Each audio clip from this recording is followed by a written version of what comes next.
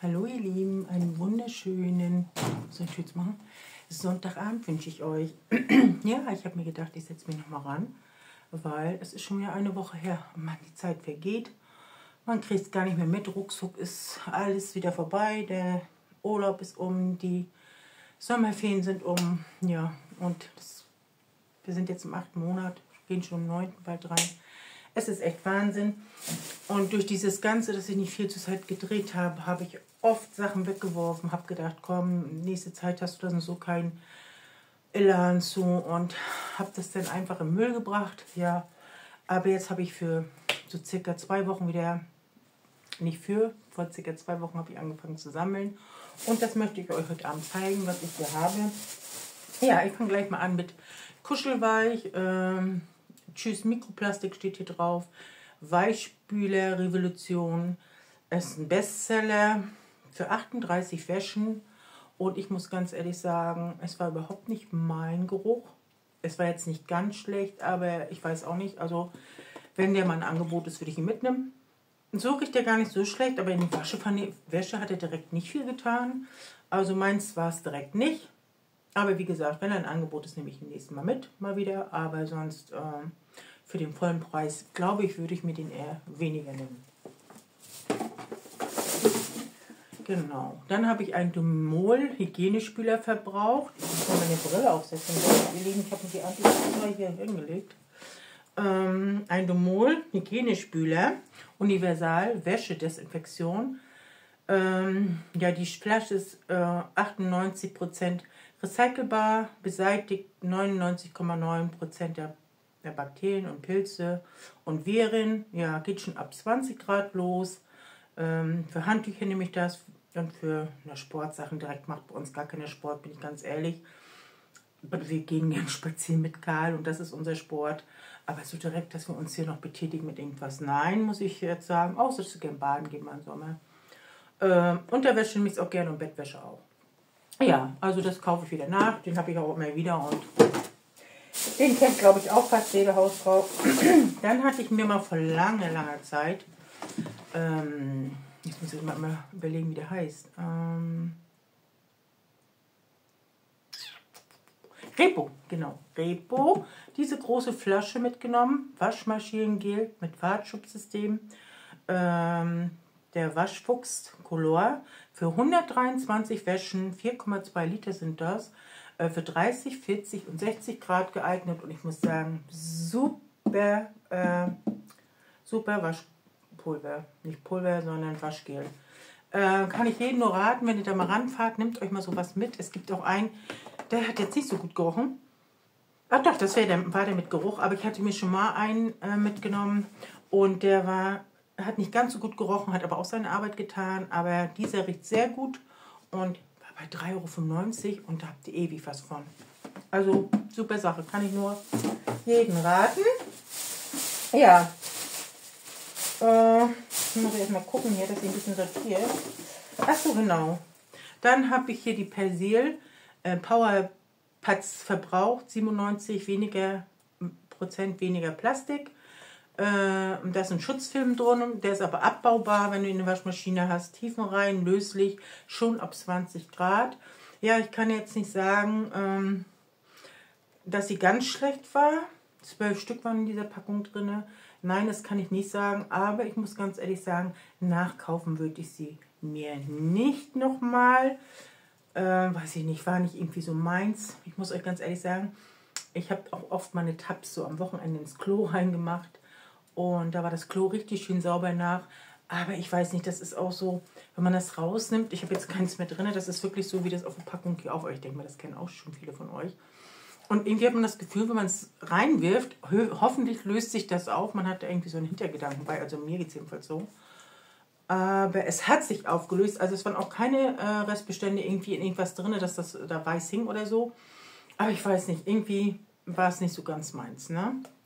Aber zum Probieren ist es mal nicht schlecht. Wenn einer Interesse hat, kann er es auch gern machen. Aber so direkt, dass ich mir das jetzt unbedingt nochmal nachkaufen muss. Ich habe noch eine Packung davon. Äh, ich weiß nicht, war das auch Persil? Oder war das von Aldi so Tabs? Muss ich jetzt gucken. Und, äh, aber nochmal nachkaufen? Nö, muss nicht sein. Ich nicht. Dann habe ich diese, äh, die hatte ich ja neues euch schon gezeigt, auch so als äh, Putz, für Putz, zum Putzen. Diese Dr. Becks Original äh, Waschmittelblätter, universal. Und ich muss euch ganz ehrlich sagen, die sind richtig, richtig toll. Die habe ich mir auch schon mal wieder nachgekauft. Jetzt gerade. Ich hätte nie gedacht, dass die so toll sind. Vom Geruch finde ich die super. Die Wäsche ist richtig schön schäumig. Also wirklich. Und wie gesagt, man hat nicht viel Abfall in den Tüten oder Tonnen, je nachdem wie ihr es habt. Und für 25 Wäschen ist da was drin. Ich muss sagen, ähm, da halte ich mich jetzt so ein bisschen an meinen eigenen was ich, wenn ich denke, nee, ein so ein Blatt reicht nicht auf, bei Blusen und so ist das kein Problem, aber wie gesagt, wenn du ein bisschen Verschmutzung hast an irgendwas T-Shirts oder irgendwas, dann mache ich da immer zwei rein. Aber das ist so super schäumig, das sollte man nicht glauben, hätte ich nie gedacht. Und auch vom Geruch hat es mich äh, wirklich begeistert. Ne? Und das war jetzt 4 Euro, so eine Packung, 3 noch was, 3,95 oder so.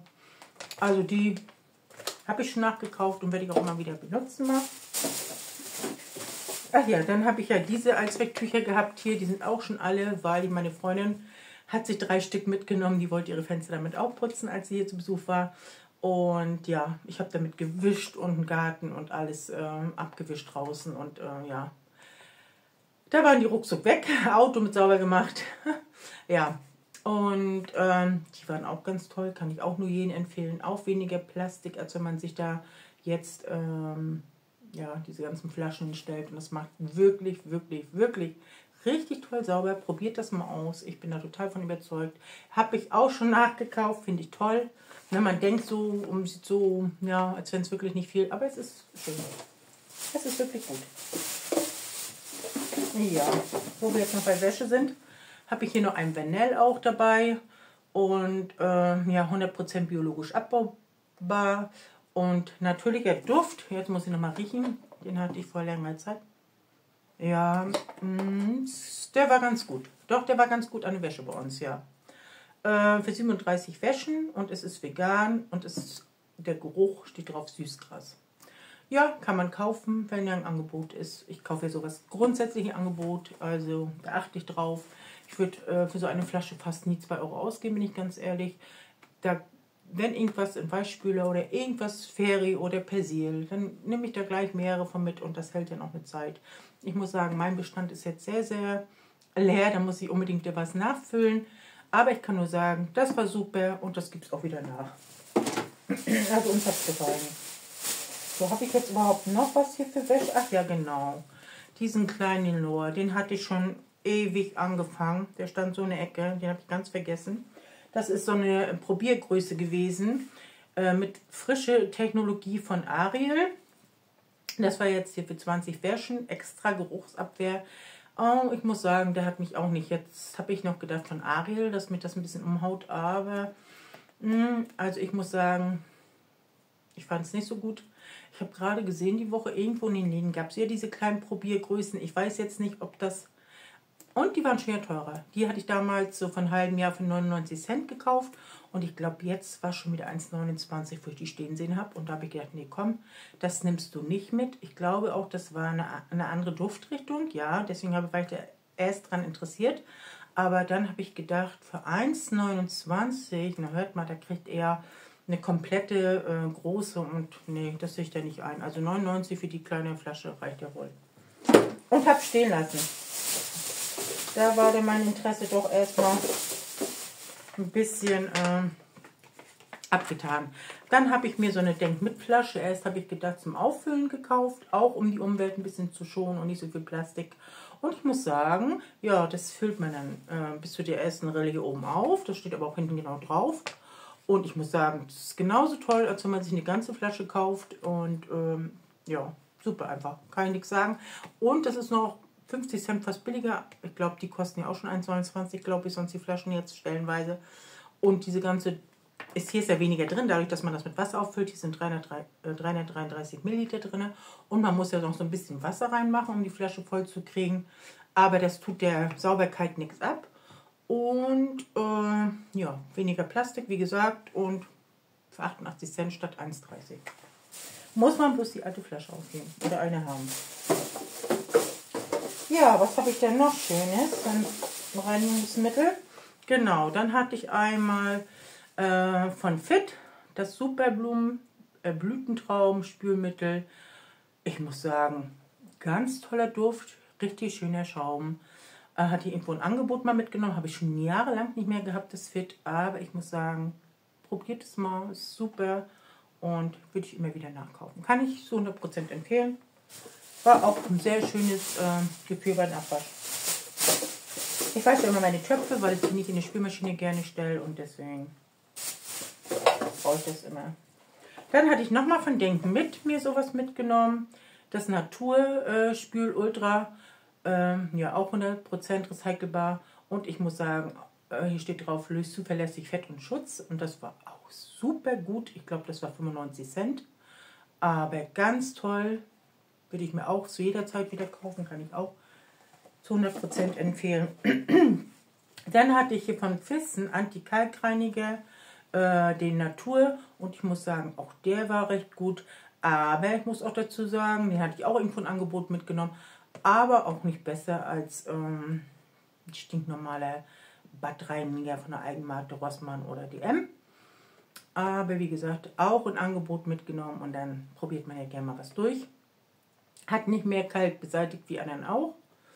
Und ja, wenn es ein Angebot ist, nehme ich es wieder mit. Und wenn nicht, dann lasse ich das. So, ich glaube, das waren schon fast meine Haushaltsprodukte. Ne, hier habe ich noch einmal. Das läuft hier auch schon ein bisschen aus in meiner Tüte, aber dann bin ich, glaube ich, mit den Haushaltsprodukten soweit durch, oder? Ne, dann habe ich noch eins. Ja, mit meinem Fit. Das ist schlimmer, mehr weiß ich auch. Vom Palmolive hatte ich das Ultrakonzentrat Orchidee. Ähm, 96% Inhaltsstoffe natürlichen Ursprungs, hochwertiger Duft mit natürlichen Ölen. Und ich muss auch sagen, es war auch ein Angebot irgendwo jetzt die letzten Tage, Wochen. Und ich muss sagen, das war auch richtig, richtig toll. Und auch das würde ich wieder kaufen. War, hat auch total seinen Job gut gemacht, ob es fettig war, äh, ölig war. Es ging alles super. Also das könnt ihr euch auch kaufen. Und dann hatte ich noch von Rewe Beste Wahl den Entkalker für Haushaltsgeräte, kraftvoll, jetzt kommt mein Karl, gegen Kalk, schon für Geräte. Das ist auch super, das kaufe ich mir auch regelmäßig nach, das kann ich auch allen empfehlen von euch. Macht die Kaffeemaschinen super, braucht man nicht immer die Tabs, die teuren, geht super damit. Auch bei einem Kaffeeautomaten großen. So, und jetzt kommen wir noch zu ein paar Pflegeprodukten und dann sind wir auch schon durch. Und zwar haben wir das äh, von Schwarzkopf Gliskur äh, Haarreparatur verbraucht, Expresskur in einer Minute und ich muss sagen, super tolles ähm, ähm, Spülung. Jetzt bin ich ein bisschen durcheinander, weil Karlchen reinkommt hier gerade. Die waren draußen. Äh, Widerstandskraft und Glanz. Sehr geschädigtes, äh, für sehr geschädigtes und trockenes Haar. Oh, das könnt ihr euch auch kaufen. Das macht auch super seine Arbeit. Also danach glänzen meine Haare jedes Mal und ja, also das kann ich nur empfehlen. Preislich glaube ich 2,99, wenn ich mich jetzt nicht täusche. Ich mit meinen Preisen hier. ja, dann habe ich einmal das Fahr Limit Edition. Die hatte ich vorher auch schon mal.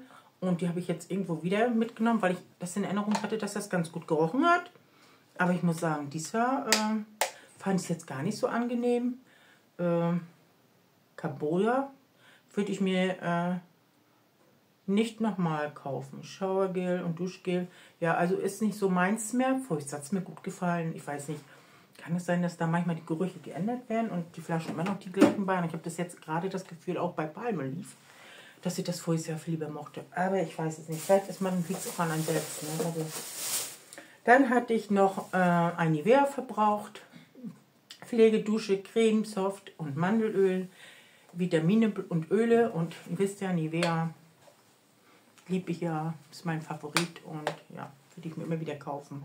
Mag ich voriges Jahr und dieses Jahr noch und ja, super. Dann haben wir die Männer hier bei uns Head and Shoulder verbraucht für juckende Kopfhaut mit Pfefferminze und ich hatte neues Keinster und habe das mal genommen und ich muss sagen, tolles, äh, kühlendes bei der Hitze äh, Shampoo die Männer haben gesagt, probier das mal aus. Es ist wirklich, als wenn die Kopfhaut ein bisschen kühl und frisch und man kann richtig gut durchatmen, wenn man das auf dem Kopf hat. Also habe ich mir dann ja schon eingebildet. Das mag jetzt Einbildung sein. Äh, ist auch für Schuppenschutz und für 72, bis zu 72 Stunden Halt Schuppenschutz. Ja, also für Schuppen 72 Stunden Halt. Ja, naja. Aber es ist vom Geruch her toll und es ist auch, fühlt sich auf, auf dem Kopf sehr, bei Hitze sehr, sehr angenehm an. Also das könnt ihr auch gerne mal probieren. Ich fand es richtig toll. Also muss ich ganz ehrlich sagen, wollen die Männer auch nachhaben.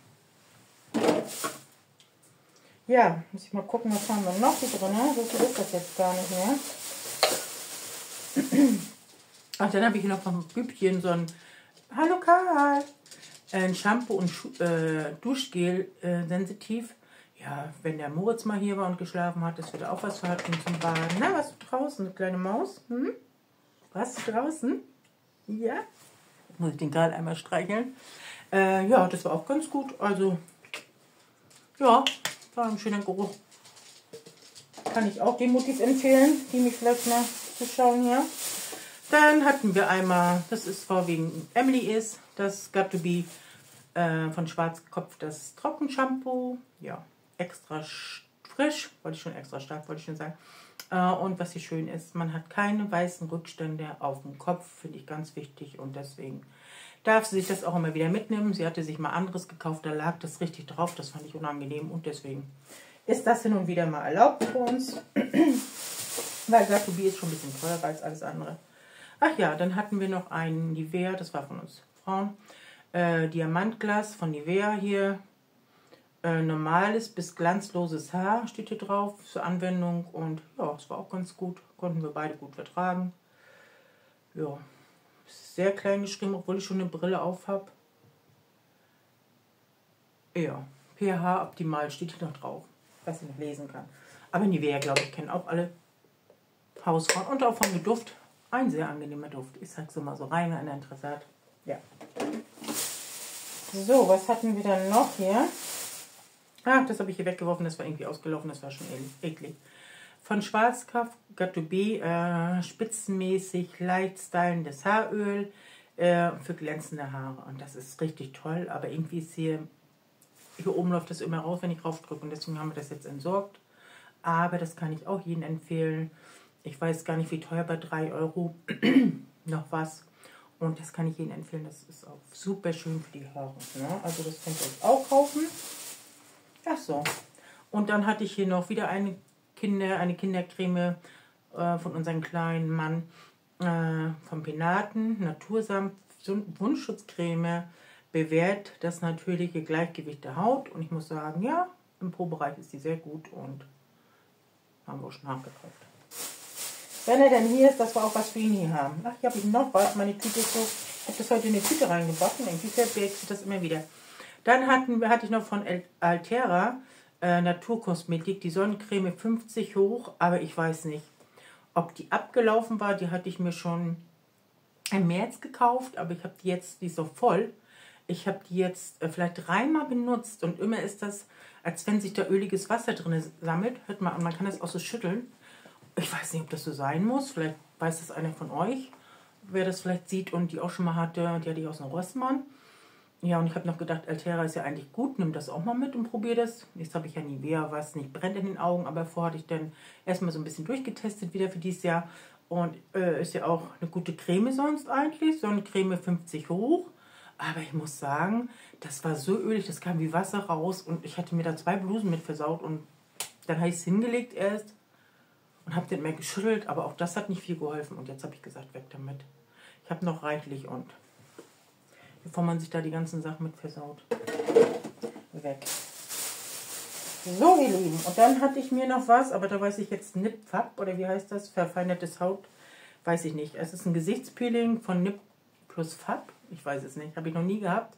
War das erste Mal, das war bei 9 Euro, weiß ich noch. Und ich war ganz gespannt, weil ich hier unten äh, so eine Stressflecke hatte und ich habe gedacht, vielleicht hilft das alles. Dazu habe ich mir auch noch ähm, eine Gesichtscreme mitgenommen, die benutze ich aber noch. Und ja, das ist schon alle. Es war auch ganz gut, aber er war keine 9 Euro wert. Also kann ich jetzt auch nicht direkt empfehlen, weil er Interesse dran hat. Aber es war auch nicht schlecht. Ne? Es war so für 9 Euro zu wenig. Wie soll man es sagen? Aber auch nicht ganz schlecht. Ne? Also, ja, so wie es manchmal ist. So, ihr Lieben, ich wünsche euch, mein Karl hat sich jetzt hier unten auf die Erde gelegt. Ich wünsche euch noch einen schönen Rest Sonntagabend. Bleibt schön gesund und wir sehen uns bald wieder. Macht's gut, ihr Lieben. Passt auf euch auf.